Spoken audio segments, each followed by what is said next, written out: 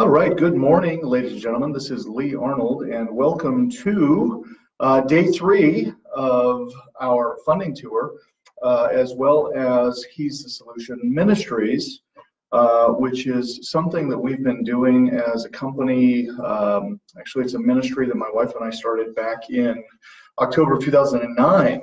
And um, we have church services every Sunday morning, uh, wherever we are. So if we are at an event, uh, at some city, some hotel somewhere in the country. Uh, we'll have church services there, uh, but we also have them every Sunday morning uh, at 6:45 a.m. Pacific, where uh, we start with a time of prayer, uh, and then we have our Bible study, and we take one verse out of the Bible. and we talk about it. second, we'll be in Second Samuel chapter 14 this morning. but this is something that the Lord placed on my heart, just because I've been uh, traveling for about 20 years and on the road um, doing seminars. And for the first 10 years of that, we didn't have church at any of our events. So here I was, a Christian, um, teaching people how to get rich in real estate, uh, how to get rich, you know, in in in man's world. Uh, but I was taking people away from their spiritual life, and uh, uh I was convicted by that. So uh, in October of 2009, my wife and I started He's the Solution Ministries, uh, and we've been uh, doing it ever since. Uh, you can go to our website, he'sthesolution.com, and uh, read up more about that. But at our events, uh, we like to give people out a Bible. So if there's anybody watching from home that would like a Bible, we'd happily send one out to you. Uh, I feel like everybody needs to have a good Bible. Uh, and as you can see, this one's got really big print. Uh, the older I get, the more I appreciate the large font because uh, it makes it a little bit easier to read. Uh, we've given away now thousands of Bibles all over the country, uh, and we just share Christ. Uh, we give out bookmarks that are from some of our longtime friends of the ministry, as well as for those that do accept Christ as their Lord and Savior when we're out there on the road. Uh, we will send them this 14 day devotional uh, for new believers called A New Life. Uh, and then uh, also, uh, you guys can download, is this on the um, download? Yeah, if you guys uh, just go down below the chat, those of you on the phone with me here, you uh, won't be able to see this, but for those of you that are live streaming from home right now, you can download our Welcome to Worship pamphlet. and in here, you can read more about the ministry, uh, how it started, kind of the foundation of it, and um, all the fun things there, as well as the dial-in information uh, if you want to join us uh, Sunday mornings. Uh, also, you can go to our Facebook page at He's the Solution and uh, just like that page. And when you do that, uh, you will receive a notification when we go live because we do do Facebook Live every Sunday morning as well as the phone call. So we want to uh, give as many opportunities through as many different media and channels as possible uh, because my heart is to share the word. My heart is to help people spiritually. Um, you know, there's no sense making a bunch of money and learning how to get rich in real estate if you don't have a relationship with the Lord Jesus Christ. So that's more important than anything. Uh, I think that wealth creation, all of those things come after uh, we get our heart right with the Lord. And, and, I think that there has to be the proper alignment. Uh, my wife uh, uh, spent some time with the Mary Kay organization years ago, and their motto was God first, family second, career third. And I'm sure you've heard that before God first, family second, career third. Uh, so that's how uh, I try to live my life as well. also, uh, want to invite you all out here to beautiful Coeur d'Alene uh, on October 23, 24, and 25, uh, right here at the Coeur d'Alene Resort. We will be having the Be Bold for Jesus conference. Uh, and we have Kirk Cameron coming out as our keynote speaker, uh, as well as a bunch of other uh, godly men, business leaders um, that are using their business to be bold for Jesus. Um, so you can learn more about that at Be Bold for Jesus or I'm Bold for Jesus.org. Uh, we'd love to have you all join us for that as well. All right. So this morning, Uh, we are in 2 Samuel chapter 14, so if you would please open up your Bibles to 2 Samuel chapter 14, and we will read through it together, uh, and then we'll uh, talk about it. So 2 Samuel chapter 14, beginning in verse 1. Joab, son of Zeruiah, knew that the king's heart longed for Absalom. So Joab sent someone to Tekoa, and a wise woman brought from there. He said to her, Pretend you are in mourning, dress in mourning clothes, and don't use any cosmetic lotions. Act like a woman who has spent many days grieving for the dead. Then go to the king and speak these words to him. And Joab put the words in her mouth. And when the woman from Tekoa went to the king, she fell with her face to the ground to pay him honor. And she said, Help me, O king. The king asked her, What is troubling you? She said, I am indeed a widow. My husband is dead. I, your servant, had two sons, and they got into a fight with each other in the field, and no one was there to separate them, and one struck the other and killed him. Now the whole clan has risen up against your servant, and they say, Hand over the one who struck his brother down, so that we may put him to death for the life of his brother whom he killed. Then we will get rid of the heir as well. They would put him out.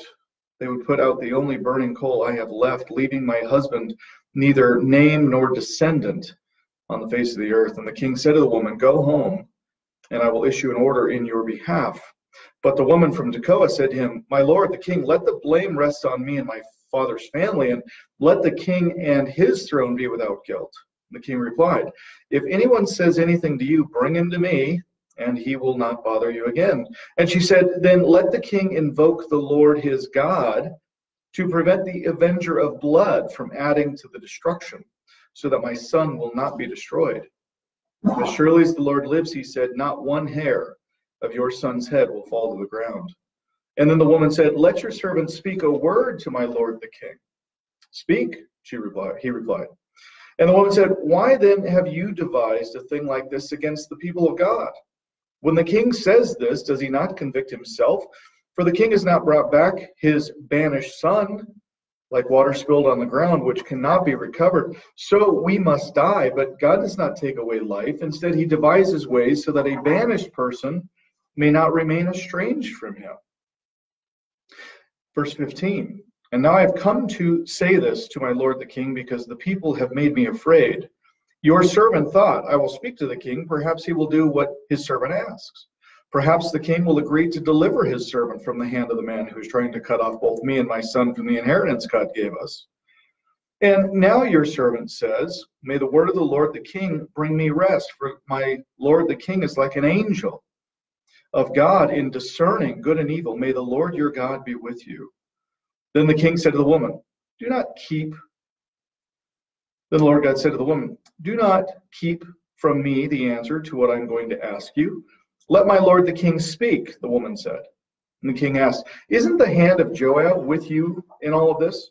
And the woman answered, As surely as you live, my lord the king, no one can turn to the right or to the left from anything my lord the king says. Yes, it was your servant Joab who instructed me to do this and who put all these words into the mouth of your servant. Your servant Joab did this to change the present situation. My Lord has wisdom like that of an angel of God. He knows everything that happens in the land. The king said to Joab, Very well, we'll do it. Go bring back the young man Absalom. So Joab fell with his face to the ground to pay him honor, and he blessed the king. And Joab said, Today your servant knows that he has found favor in your eyes, my Lord. The king, because the king has granted his servant's request. Then Joab went to Geshur and brought Absalom back to Jerusalem. But the king said, He must go on his own house. He must not see my face. So Absalom went to his own house, and he did not see the face of the king. In all Israel, there was not a man so highly praised for his handsome appearance as Absalom. From the top of his head to the sole of his foot, there was no blemish in him. Whenever he cut the hair of his head, he used to cut his hair from time to time. When it became too heavy for him, he would weigh it and its weight was 200 shekels by the royal standard. Verse 27, again, we're in 2 Samuel chapter 14, verse 27. Three sons and a daughter were born to Absalom. The daughter's name was Tamar, and she became a beautiful woman. And Absalom lived two years in Jerusalem without seeing the king's face. Then Absalom sent for Joab in order to send him to the king. But Joab refused to come to him. So he sent a second time, but he refused to come. Then he said to his servants, Look, Joab's field is next to mine, and he has barley there. Go and set it on fire. So Absalom's servants set the field on fire. And then Joab did go to Absalom's house, and he said to him, Why have your servants set my field on fire? And Absalom said to Joab, Look, I sent word to you and said, Come here so I can send you to the king to ask, Why have I come from Geshur? It would be better for me if I were still there. Now then, I want to see the king's face, and if I'm guilty of anything, let him put me to death. So Joab went to the king and told him this. Then the king summoned Absalom, and he came in and bowed down with his face to the ground before the king, and the king kissed Absalom. Let's pray. Lord, we just come to you this morning. Uh, Lord, Palm Sunday. Uh, Lord, as we now go into uh, the week that you spent, Lord, being being accused and being tortured, and Lord, being crucified. Lord, as we think about that sacrifice, as we think about your willingness to die for each and every one of us, to forgive us for our sins, and to give us a way, Lord, that we could be done with condemnation, Lord, and be done with feeling like we're not good enough, to be done with feeling like we can never measure up. Lord, that's this week. So Lord, help us all to just be in thought and prayer as we are reminded as we come to Friday, Lord, the day of your crucifixion. And Lord, as we look forward to next Sunday, a week from today, the day of your resurrection. Lord, we serve a risen King. Help us to not forget that, Lord. Help us to be continually reminded that you are on the throne. And Lord, in the midst of all this craziness with coronavirus and stay in place, stay home, Lord, we are, as a nation, as a world, Lord, we are stopped. All of the trappings, Lord, that we we relied on from jobs to relationships to being able to go to the movies, Lord, stopped. And Lord, what an opportunity it is to just be calm and to be still and to be reminded that you are on the throne. Lord, many people confused during this time, many people unemployed, Lord, many people furloughed and and, and worried about being laid off. Uh, Lord, so many difficult, painful situations that people are experiencing this morning. Lord, I pray that you would just give them all peace and comfort. And Lord, while you may not give them a job tomorrow or help them win the lottery tomorrow, Lord, we know that in all things you are in control. So help us to never lose sight of that. Lord, help us to take our confidence from you and from no one else.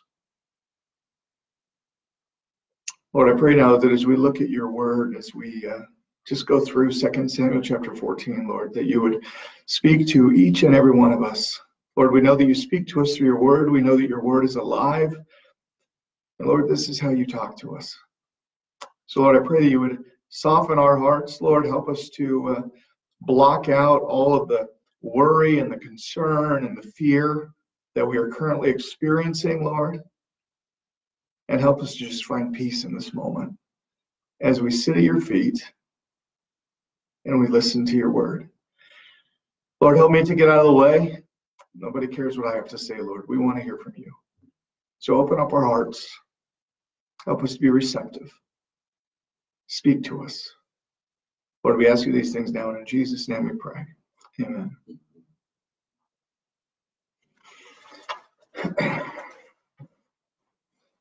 Absalom returns to Jerusalem.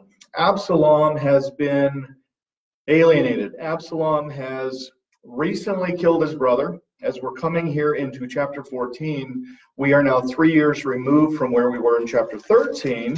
So if you just hang a left in your Bible, uh, verse 23, we see two years later. So two years later than what? Two years from the time that Amnon, who is Absalom's older brother, uh, rapes his half sister Tamar, which is Absalom's full sister. Uh, and he's upset, he's angry because his father, the king, King David, did not reprimand his son, he did not correct his son, he did not punish his son. His son rapes his sister, and David does nothing. Now, Amnon being the oldest, he's next in line to be king. So, was he given immunity simply because he was next in line to be king? No. We see throughout David that he struggled as a father to punish his children, to correct his children, to keep them in line. Now, granted, David was a busy guy, so there's an argument to be made well you know he was so busy he had all these servants you know why didn't why didn't his wives do it? Why why didn't the moms take care of discipline? Well because the bible says that it's the father's responsibility to discipline and correct the children. And when we go outside of what god has called us to do that's when chaos ensues. And unfortunately for david chaos is ensuing. Right under his own reign right in his own home his son is raping his daughter. His next oldest son, Absalom, Amnon's younger brother, younger half brother, is plotting his murder.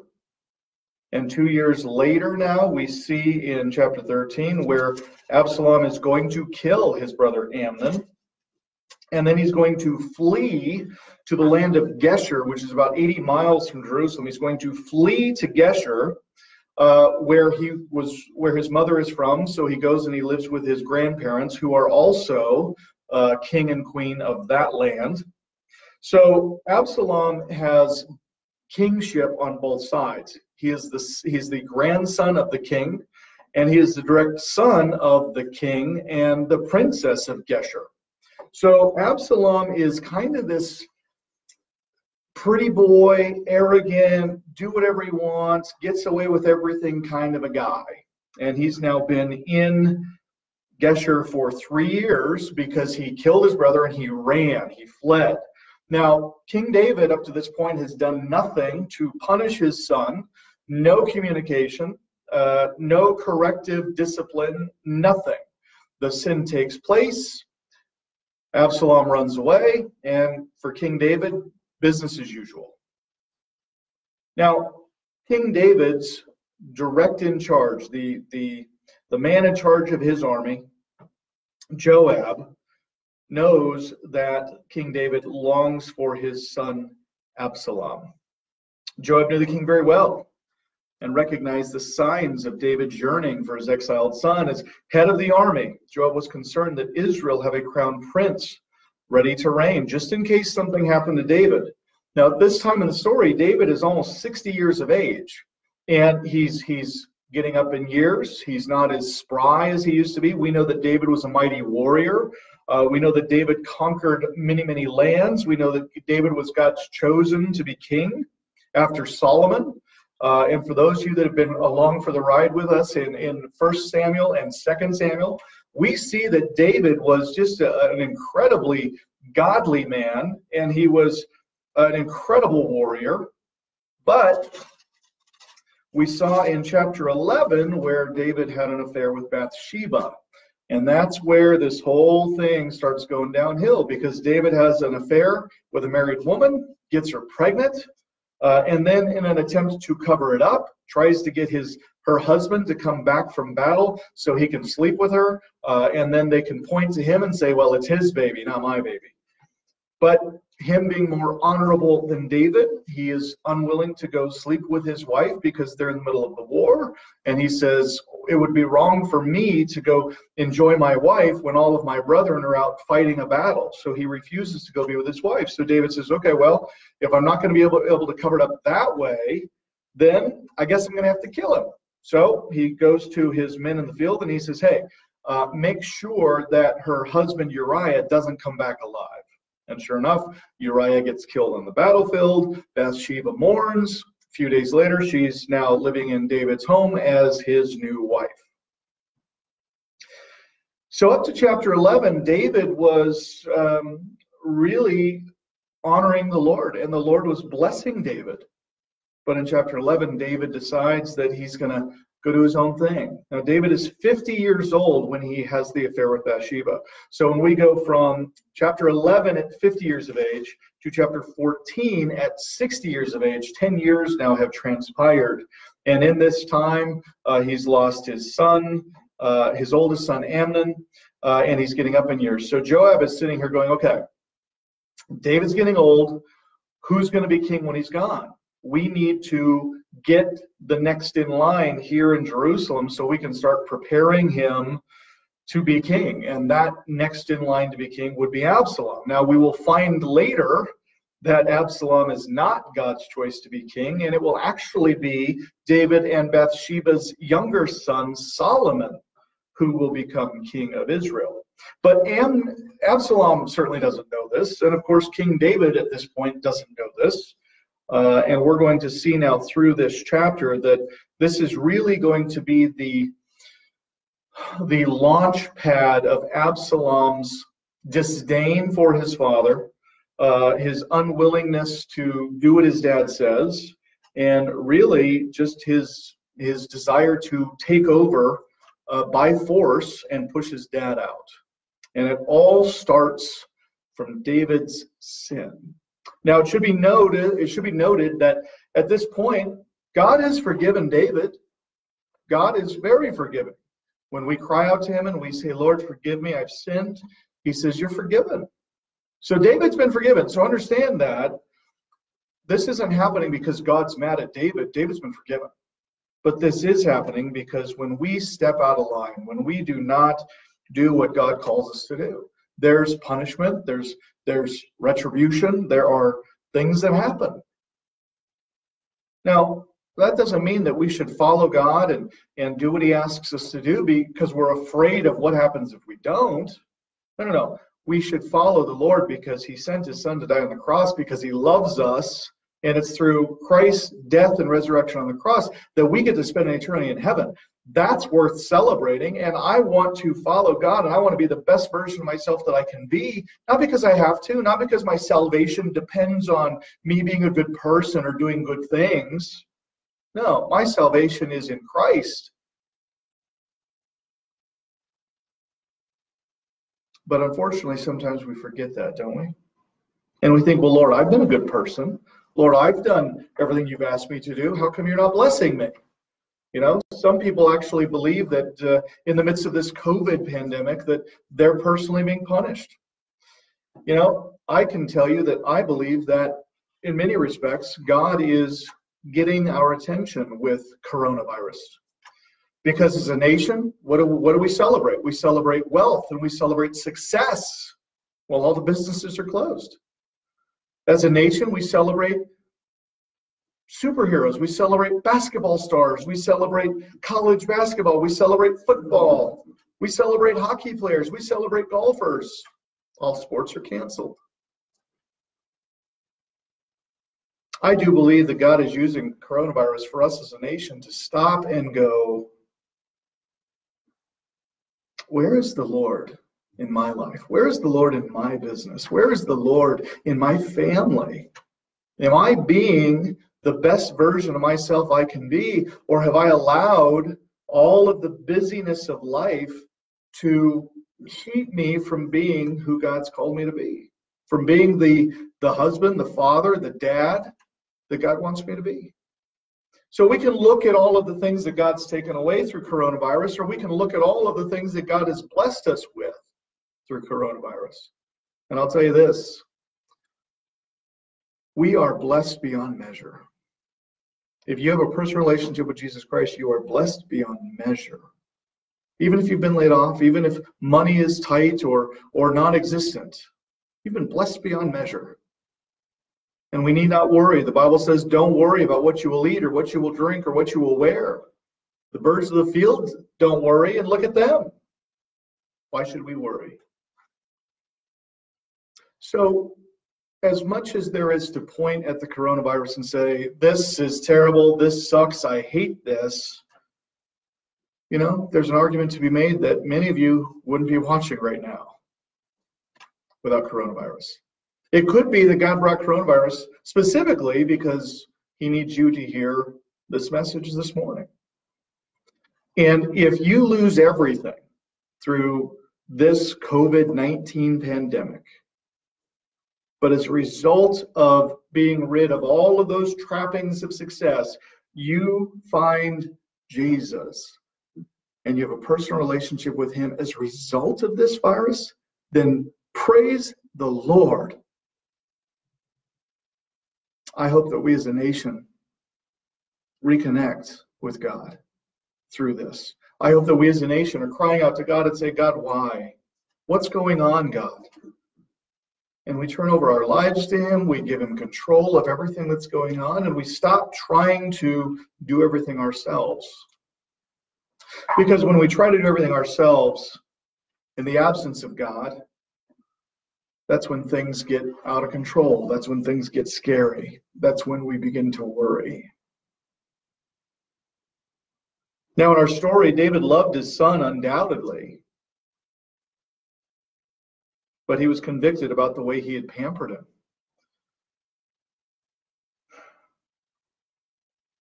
David didn't correct Absalom like he should have. David was not the father that he should have been. He was not the spiritual leader in his home. He was an amazing warrior, he was an amazing business person, but he was not the spiritual leader that he should have been in his home.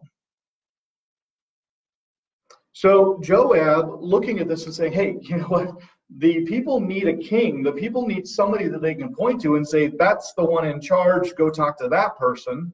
And so Joab is saying we need to restore David and Absalom's relationship. So he comes up with this plan. And he finds this woman from Tekoa. Now, Tekoa is a small little village. It's about 14 miles south of Jerusalem, where David is located. And he brings this woman and he says to her, Pretend that you are in mourning, verse 2. Dress in mourning clothes, M O U R, mourning as in I'm crying, I'm distraught. Dress in mourning clothes and don't use any cosmetic lotions. Act like a woman who spent many days grieving for the dead. Then go to the king and speak words to him. And Joab put these words in her mouth. Now, here, David is about to fall for another story. Turn back to chapter 12 with me, real quick. Chapter 12, David has committed his sin with Bathsheba. He's covered it up and he believes that he's gotten away with it.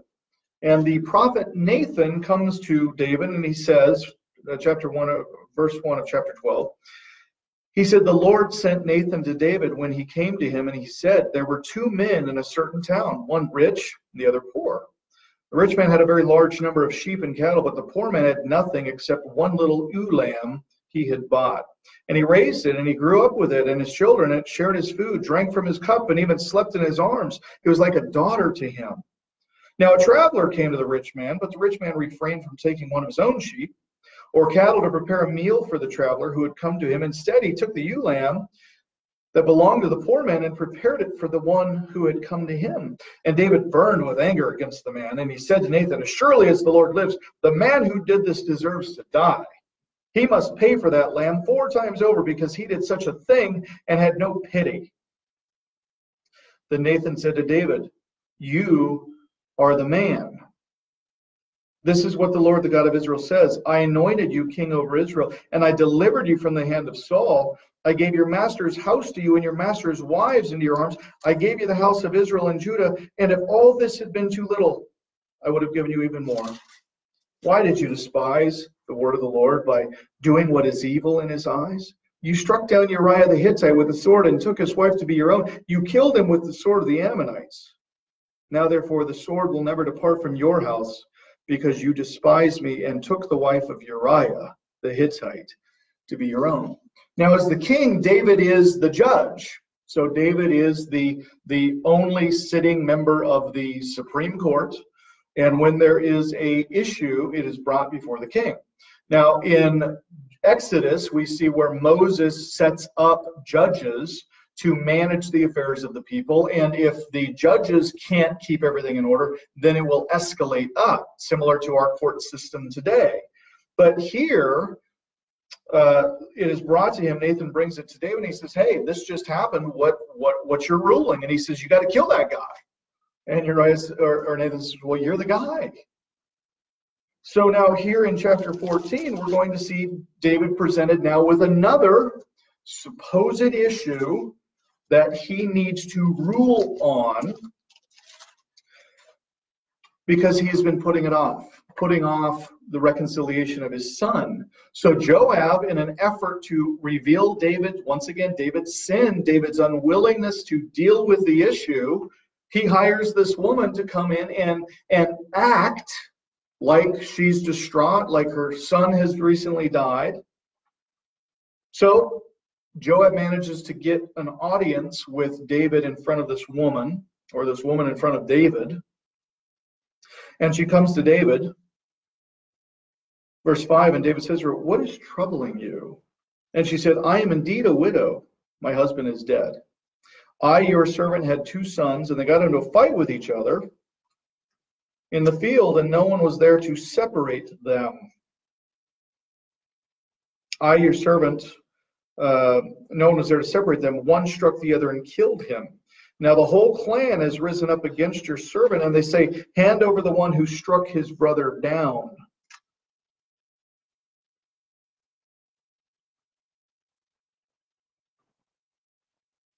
So that we may put him to death for the life of his brother whom he killed. Then we will get rid of the heir as well, and they would put out the only burning coal I have left, leaving my husband neither name nor descendant on the face of the earth. Now, since this woman is a widow, now in the story, which is false, this is not a true story, she's making all of this up. But in this story, she's saying, My two sons were out in the field, and one of them killed the other my husband is dead, and now everybody wants to kill the brother who's still alive because he is guilty of murder. The issue here is if they kill my only remaining son, then I have no livelihood. So the law existed specifically to keep this from happening. There's no welfare system, there's no food stamps, there's no social security. So a woman's retirement, a woman's well-being was tied to her family, starting with her husband and then her sons. And if her sons are both dead and her husband's dead, then this renders this woman in a very, very bad situation. She will not have any family, she will not have any heirs, and this is a big problem. So if the death penalty for murder was in, invoked, there would be no living heir in the family, leaving that family with no future a situation the law sought to avoid. Joab got her to play upon the feelings of David by telling him her sad story. Just as David had used deception in the attempt to cover up his sin with Bathsheba, he was now being deceived. What goes around comes around. So David deceived Uriah, and now he is being deceived by Joab and this woman. Verse 8 So David is hearing this, and he says to the woman, Go home I'll issue an order on your behalf. David says, I'll take care of it. But the woman from Tekoa said to him, My lord the king, let the blame rest on me and my father's family, and let the king and his throne be without guilt. The woman says, I know you're bending the rules on this matter. The woman said, But I'll take responsibility. The woman was willing to receive whatever blame might arise from the sparing of her guilty son. But David assures her, verse 10 if anyone says anything to you, bring him to me, and he will not bother you again.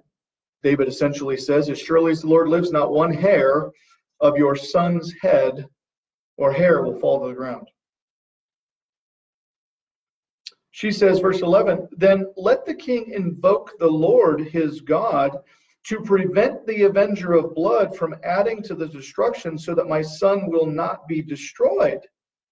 As surely as the Lord lives, he said, not one hair of your son's head will fall to the ground. Now, the avenger of blood, the law provided for a way to avenge murder in Numbers chapter 35, verses 9 through 21, records how cities of refuge protected people from revenge and how blood avengers were to pursue murderers. This woman was asking for the king's protection against her claim against her entire family. And so David grants her imaginary son a full pardon. He says, Look, your son's a murderer, I get it. But if he gets killed, you're in a bad situation. So I'm going to forgive the murder of your son to the other. Verse 12. Then the woman says, Let your servant speak a word to my lord the king. Hey, David, king, do you mind if I chat with you for a moment? I mean, the woman now knows that she literally has David in a corner. If he had agreed to protect a guilty son whom he did not know, how much more was he obligated to protect his own son whom he loved? Now remember, David's son Amnon was killed by his other son Absalom. So here it's a parallel situation, and David isn't, it's not tracking. He's not getting it. He's going, Yes, your son is forgiven. He murdered somebody that was terrible, but I issue him full pardon. He's forgiven. And the woman says, King, can I get a can I get a minute? David says, Speak. Verse 13. And the woman said, Why then have you devised a thing like this against the people of God? When the king says this, does he not convict himself? For the king has not brought, back his banished son. Like water spilled on the ground cannot be recovered, so we must die. But God does not take away life. Instead, he devises ways so that a banished person may not remain estranged from him.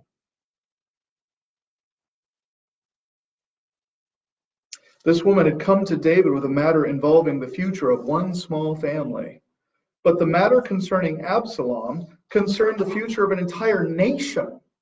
The king didn't want to see her only son and heir destroyed, but he was willing for the crown prince, Absalom, who's been left in exile three years. David has had no contact with his child, none. Absalom ran to Geshur, and David's, David writes him off, and he says, See you later, dude. So here in the story, he's saying, I will forgive the murder of your son, but he could not forgive the man who plotted the murder of Amnon. So her question is how much longer will the king wait before he sends for his son?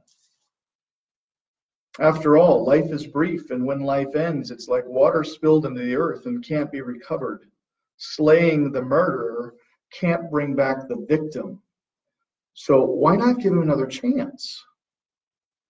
Now, as I was going through this, I started thinking how many of us have been harboring resentment or ill will towards a friend, a family member, a spouse who messed up? They screwed up. They sinned. And they sinned against you. They they wronged you. And it, it, it was incredibly painful, and you still have ill will towards them. It can be a it can be a son, it can be a daughter, it can be a brother or sister, an aunt, an uncle, a coworker. As Christians, we are not called to harbor resentment towards anybody. And what this woman is saying is she's saying, wait a minute, you can forgive everyone else who have wronged you, but you can't forgive your son. You can't forgive your daughter. You can't forgive your brother. You can't forgive your sister. And this woman is, is calling David out on his hypocrisy. So, on the one hand, it's fine if it happens over here, but when it affects you directly, the rules change.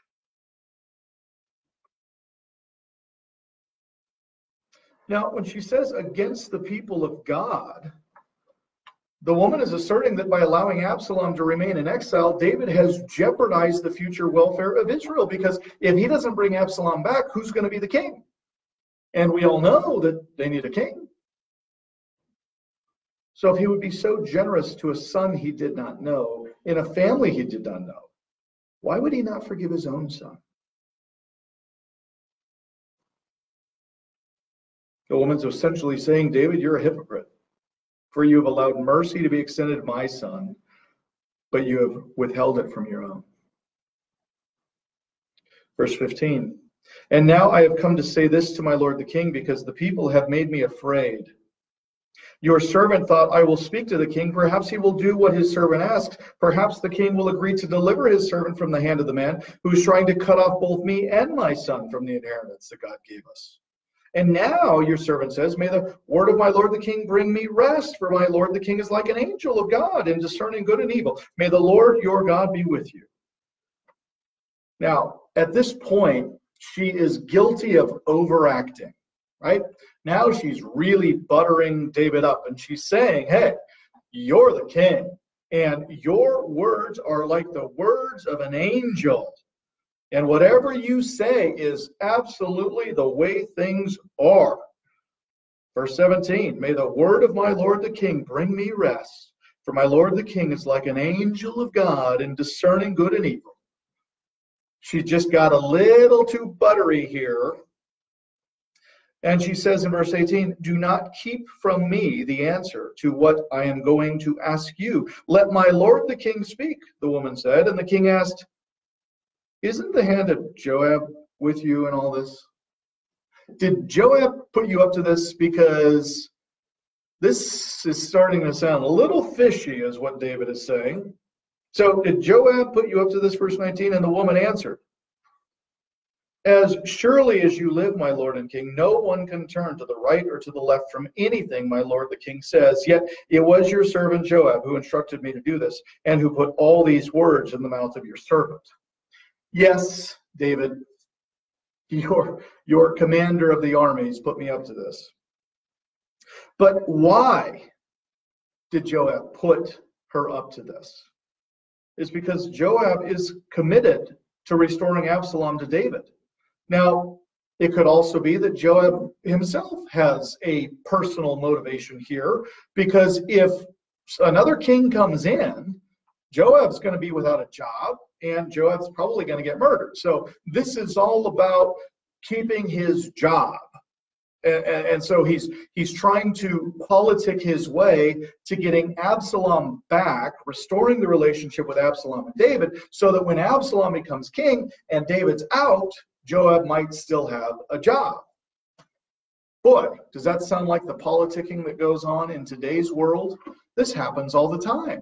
I'm, a, I'm afraid I'm going to lose my job. So I'm going to saddle up to the king and I'm going to make myself indispensable so that if, if leadership changes or roles change, I, I'm indispensable. They can't, they can't do it without me. So I'm going to do everything I can to harbor everything so that in the event that they get rid of me, the, the whole thing falls apart.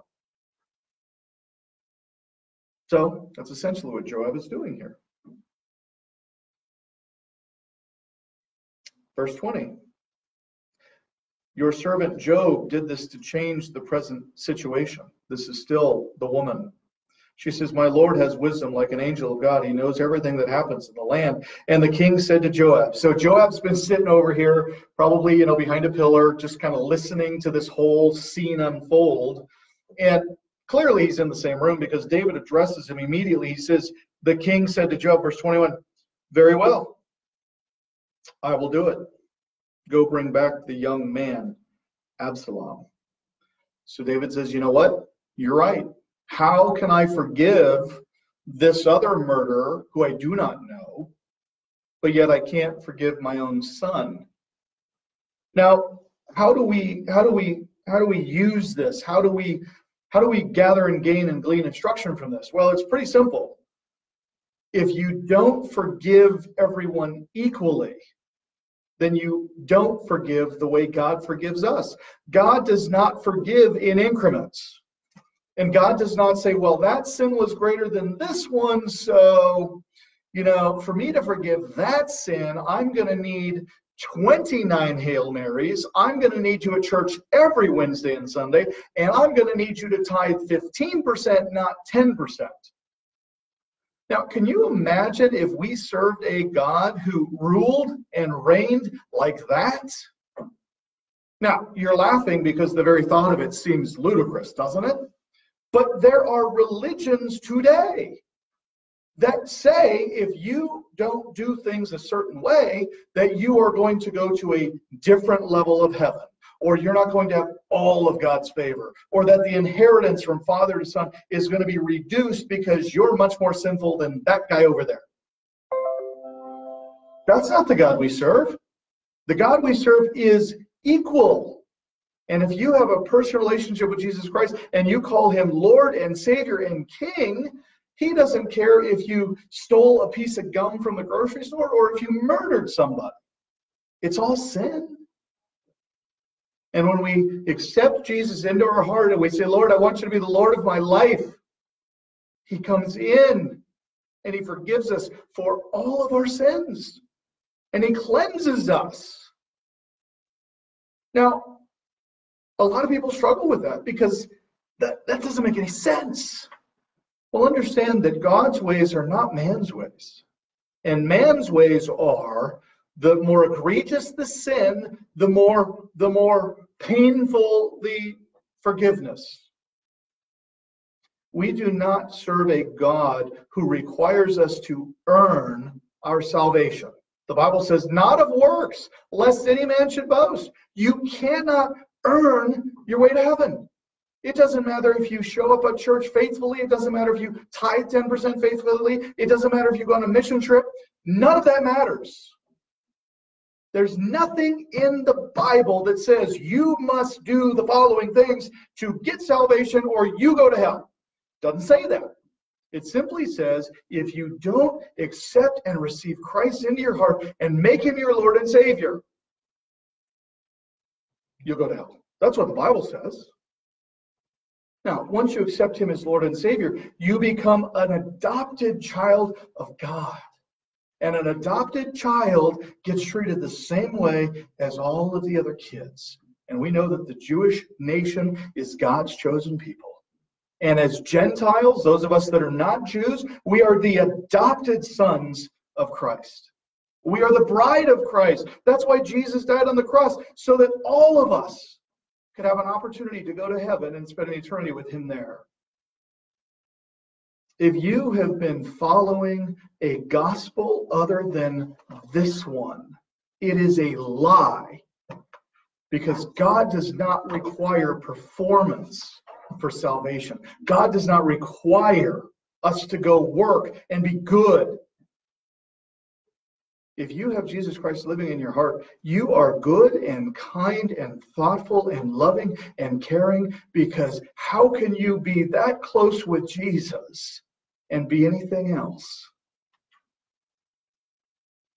We are not good because we have to be.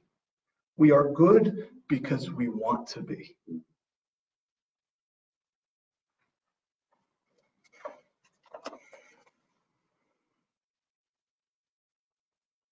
So David says, Go get him, Joab.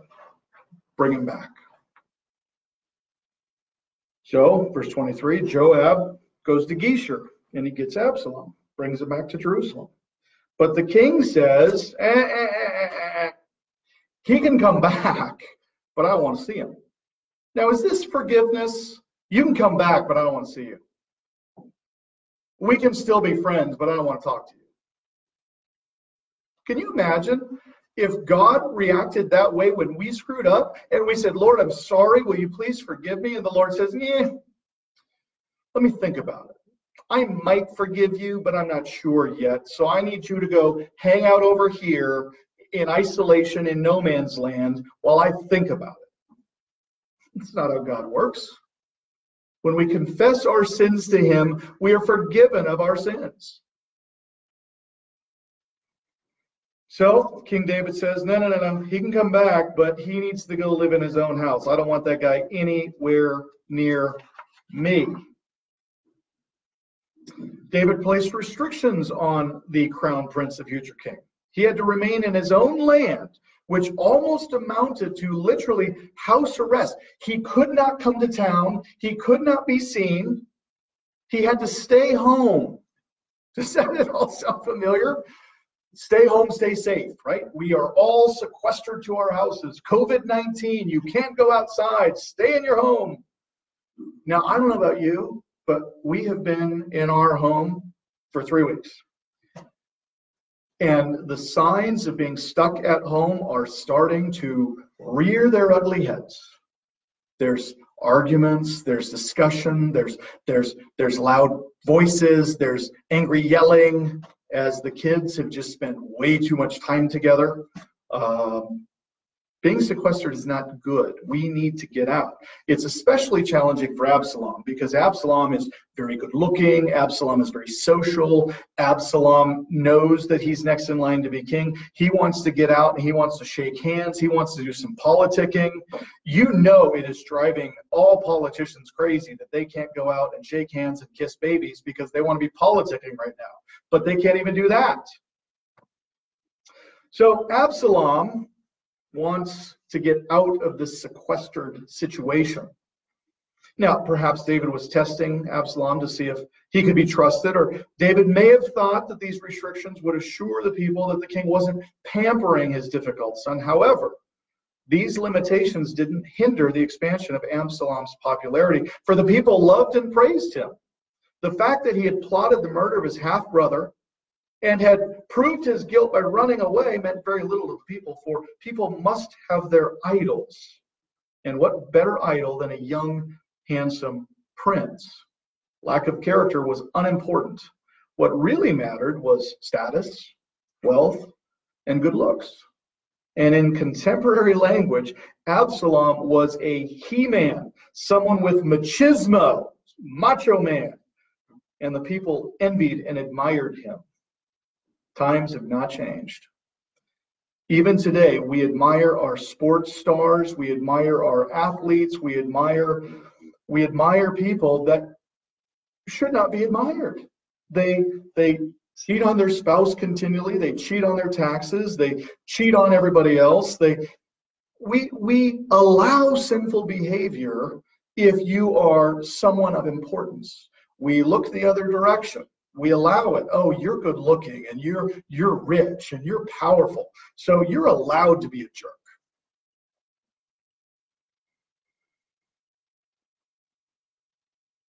Verse 25 in all israel there was not a man so highly praised for his handsome appearance as absalom. From the top of his head to the sole of his foot there was no blemish on him. He's beautiful now understand, he has blood bloodlines of kingship on both sides. His grandfather's a king, his mother was the princess, David's a king, they get married. He's a good-looking dude, and he knows it. That's part of the problem. Verse 26, whenever he cut the hair of his head, he used to cut his hair from time to time, and when it became too heavy for him, he would weigh it. Who cuts their hair and weighs it? Well, Absalom, and he would do it once a year so he had these really thick locks of hair, and it says that when it cut, when he would cut it once a year, it weighed 200 shekels. Now, 200 shekels is five pounds. Five pounds of hair. I want you to think about that. That's a lot of hair. I mean, I wonder, I don't want to get gross, but how does hair even weigh five pounds? Maybe it's very greasy, it's full of gel. I don't, but it is his splendor which is really interesting because in just a few chapters from now, his hair is the reason he dies when it gets caught in a tree and he hangs himself from his beautiful locks. Sometimes, isn't it the prized anchors that we hold on to that cause us the most future destruction? For Absalom, it was hair. For other people, it's their business. For other people, it's their relationship, boyfriends, girlfriends, whatever. Don't hold on to prized anchors that pull you down and away from the Lord. Did you know the prized anchor could be a hobby? A prized anchor could be your love of cars, your love of music, your love of whatever keeps you from being with the Lord. And if you have ever skipped church on a Sunday because you wanted to watch the football game or play golf or just sleep, the moment you made that decision, you made that thing more important than your relationship with the Lord Jesus. Did you know that? Well, Lee, that's that's being awfully that's being awfully judgmental. If I have a personal relationship with somebody, I want to spend time with them. Well, I don't have to go to church to spend time with them. Well, that's true. And, and just because you don't go to church doesn't mean you go to hell. Simply saying, the closer our relationship is with Jesus Christ, the closer we will want to be with him. And where two or three gather together in my name, there am I in the midst, the Bible says. So if two or three people are going to be gathering together and assembling for church, Christ is there. And we should desire to be there as well. Absalom was extolled for his physical appearance. At his annual haircut, it was determined that Absalom's head produced approximately five pounds of hair that had to be cut off. What was considered his crown of splendor will also be his demise. Then Absalom, verse 29, sent for Joab in order to send him to the king, but Joab refused to come to him. So he sent a second time, but he refused to come. Absalom's been sequestered for two years. So he was in Geshur for three years, didn't talk to his dad.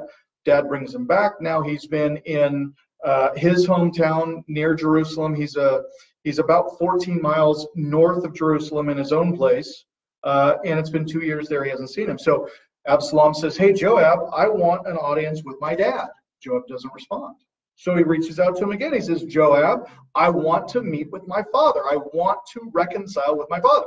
I need to get out of being stuck in my home. I want to be able to roam the city and I want to be the prince.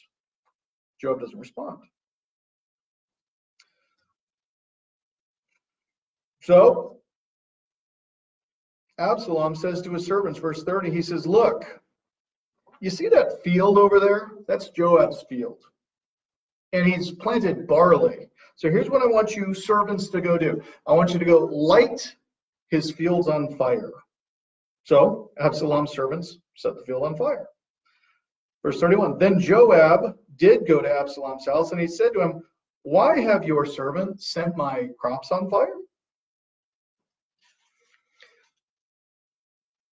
In Judges chapter 15, verse 4, we read the story of Samson. You remember Samson, the very strong man whose strength came from his hair. Uh, he wanted to get the Philistines' attention. So he went out and he caught 300 foxes and he tied them tail to tail in pairs. And then he fastened a torch to the foxes' tails and he sent them running through the fields of the Philistines, and all of the Philistines' fields burned. Now, this is the equivalent of going and, and lighting Costco on fire.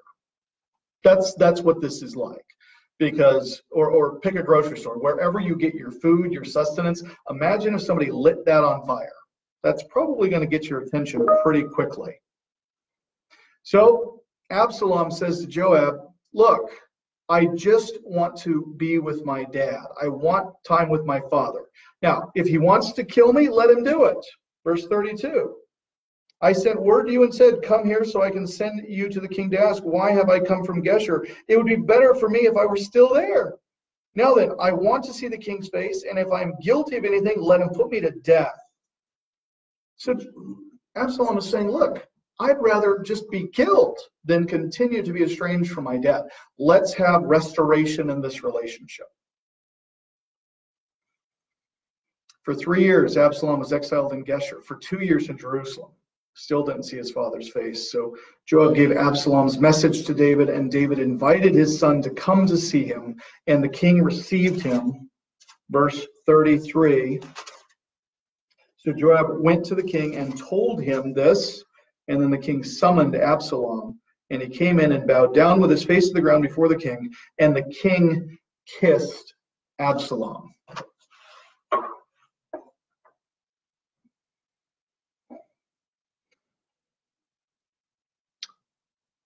Here we see the seeds of rebellion in Absalom. As an independent and scheming young man, he took matters into his own hands and killed his brother. We saw that in chapter 13.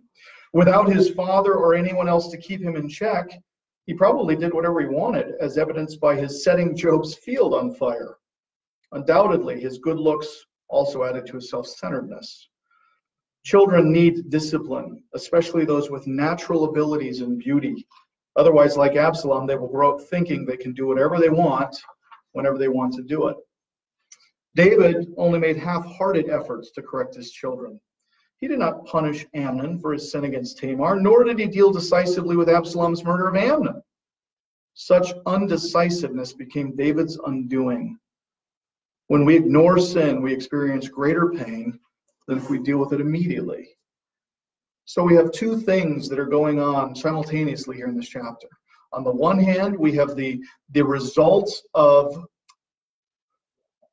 sinful nature that goes undisciplined. And if you have children that are doing things they need not be doing, as a parent, you need to discipline and correct your children. And I don't care if your kids are 50 years old. If they are living a sinful lifestyle that's not according to the will of God, they need to be corrected.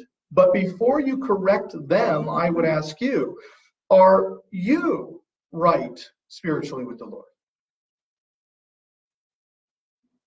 Where is your life with Jesus Christ? When your kids look at you, do they see somebody who's in, on fire for Jesus? Or do they see somebody that goes to church on Easter and Christmas? And that's that's the extent of your relationship with Jesus. You know, we often use God as our 911 when there's problems.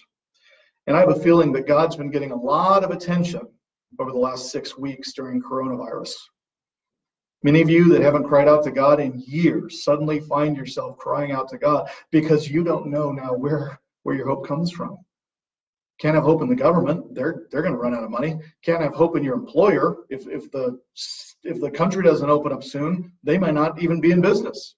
So where does your hope come from? So we have unrepentance, undisciplined sin and on the other side of this thing, we have an unwillingness to forgive sin.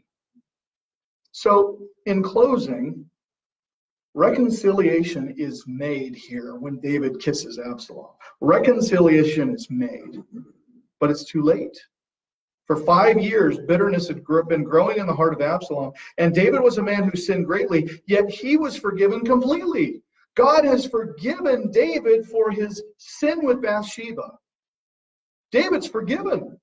Now he cannot completely forgive his son. He loves him, but he can't forgive him.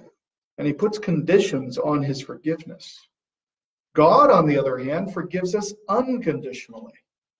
In Psalm 103:12, we read that as far as the east is from the west, that's how far away your sins and iniquities are. When God forgives, east to west. That's the distance of forgiveness with God. Once you have confessed, your sin is forgiven and forgotten. Yet, due to an irrevocable absolute law of nature, the law of sowing and reaping, the results of your sin will crop up indeed, but your Father has forgotten them completely. J. Vernon McGee said this, Oh, my friend, our God is a God who forgives. Galatians chapter 6, verse 1 tells us, Brethren, if a man be overtaken in fault, ye which are spiritual, restore such a one in the spirit of meekness. Consider thyself, lest thou be tempted. It appears that many of us don't read that verse correctly. We think it says, If any man be overtaken in a fault, take a baseball bat and hit him over the head. We are reluctant to forgive and we can be very mean at times, very unloving and critical. Now, there are times when the truth should be spoken, but when forgiveness is asked for, it should be extended immediately. David made a blunder in not forgiving his son as God had forgiven David, and he will live to regret it.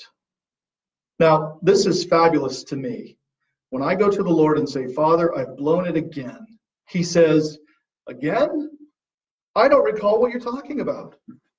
God forgave David that way. The problem is, David doesn't forgive his own son with that same unconditional graciousness and forgiveness. This created in Absalom a spirit of bitterness that festered within him for five years.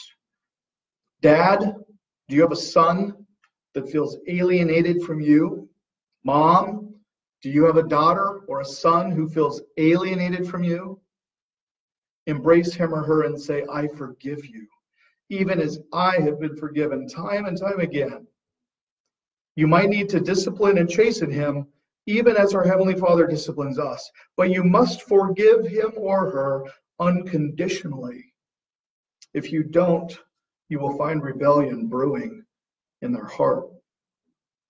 May we be people who forgive the way God forgives. If you have been harboring resentment against someone, ill will, because you've been wronged, forgive and forget. Life is too short to be overwhelmed by unforgiveness. In the end, it hurts you far more than it hurts the other person. Pray today that the Lord would soften your heart to whomever you have been holding on to negative feelings about and forgive the way you know God forgives you. Let's pray. Lord, we uh, come to you this morning grateful that you have forgiven us. And yet, Lord, humbled because many of us haven't forgiven somebody in our lives.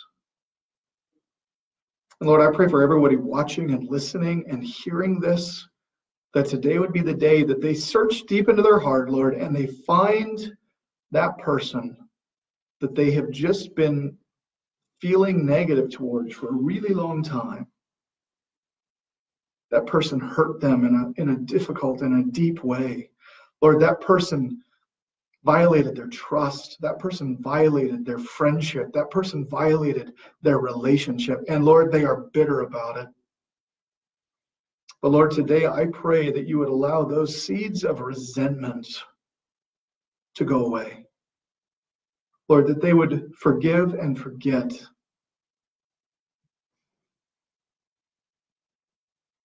And allow that person to be fully forgiven. Lord, I thank you that you have forgiven us. I thank you, Lord, that you don't harbor resentment for all of the terrible things we've done. So, Lord, help us to not notice the, the splinter in our brother's eye while we have a plank sticking out of our own. Lord, help us to be people who love. Help us to be people who care. Help us to be people who forgive. And Lord, for the person watching and listening that doesn't have a personal relationship with you this morning, Lord, I pray that today would be the day that they invite you into their heart. And if that's you, if you want to accept Christ this morning, simply say, Dear Jesus, I am a sinner. And Lord, I am asking you for forgiveness for all of the terrible things that I've done. Lord, I pray that you would come into my heart and that you'd be my Lord and Savior. In Jesus' name. Lord, I thank you that when we say that simple prayer, we become born again. We become the adopted sons and daughters of you. And Lord, you forgive us from the east to the west. Never to revisit those terrible things we've done in the past, but Lord, an opportunity to move forward, forgiven into the future. What a privilege, what a blessing. Lord, we're so grateful. We love you. We thank you. In Jesus' name we pray. Amen.